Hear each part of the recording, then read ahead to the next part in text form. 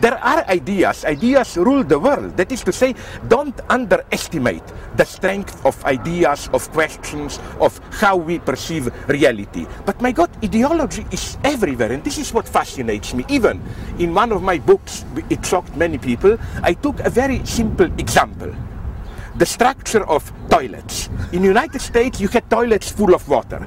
In France, they have just a hole in the backward, excrement appears as soon as possible. In Germany, they have the toilets where excrement is displayed to be looked at and so on.